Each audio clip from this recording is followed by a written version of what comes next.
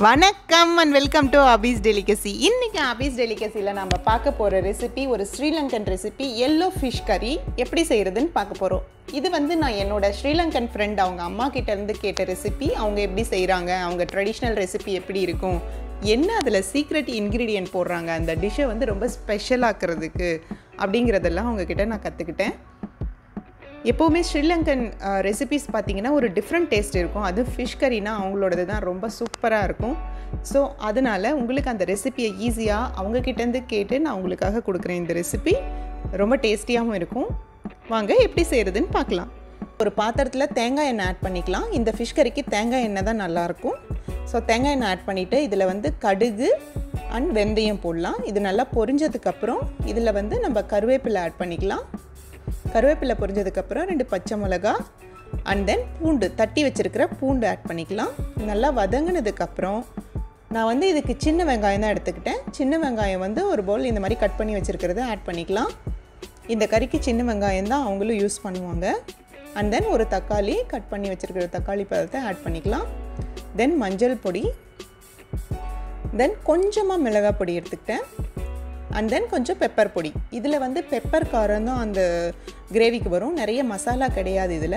இது நல்லா மசாலாஸ் வதங்கினதுக்கப்புறம் ஒரு கப் தண்ணி ஊற்றி இது நல்லா கொதிக்க வச்சிடலாம். இது வந்து கொடம்புளி ஆட் பண்ணிக்கலாம். கார்சீனியான்னு சொல்லுவாங்க. இதுதான் ரொம்ப இம்பார்ட்டன்ட் அந்த சீக்ரெட் இன்க்ரீடியண்ட் இதுதான். ஸோ இதை ஆட் பண்ணிவிட்டு இது நல்லா கொதிக்க வச்சிடலாம். தேவையான உப்பு ஆட் பண்ணி இது ஒரு ஃபைவ் மினிட்ஸ் நல்லா கொதிக்கட்டும். ஸோ இப்போ வந்து இது ஃபைவ் மினிட்ஸ் நல்லா கொதிச்சிருச்சு. நம்ம வந்து வாஷ் பண்ணி வச்சுருக்கிற அரை கிலோ சங்கரா மீன் ஆட் பண்ணிக்கலாம்.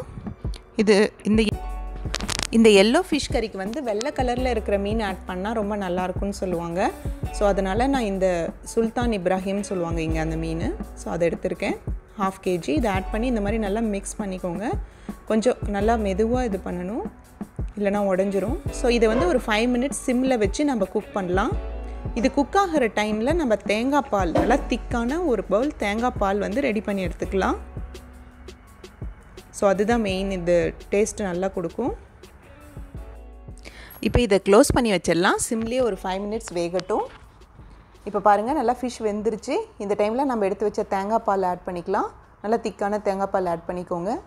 இப்போ இந்த தேங்காய் பால் ஆட் பண்ணதுக்கப்புறம் ஒரு டூ மினிட்ஸ் தான் நம்ம வந்து ஸ்டவ்வில் வைக்கணும். ஒரு சிம்மில் வச்சு கொஞ்சம் ஒரு டூ மினிட்ஸ் இதை வந்து க்ளோஸ் பண்ணி வைக்கணும்.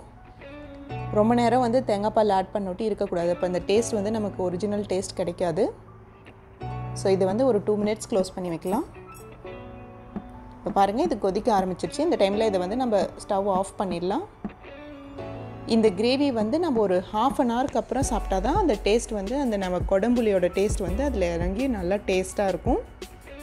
நம்ம எப்போ இந்த ரெசிப்பியை நீங்களும் ட்ரை பண்ணி பாருங்கள் உங்கள் வீட்டில் ரொம்ப நல்லாயிருக்கும் கொடம்புளி தான் இந்த ரெசிபியோட secret and then pandan leaves இருந்தால் அதையும் ஆட் பண்ணிக்கலாம். ரொம்ப நல்லாயிருக்கும் அபீஸ் டெலிகசியை சப்ஸ்கிரைப் பண்ணோம் எல்லாருக்கும் ரொம்ப தேங்க்ஸ் அபீஸ் டெலிகசி சப்ஸ்கிரைப் பண்ணலன்னா இது வரைக்கும் நீங்கள் ப்ளீஸ் சப்ஸ்கிரைப் பண்ணுங்கள் தேங்க்யூ ஃபார் வாட்சிங்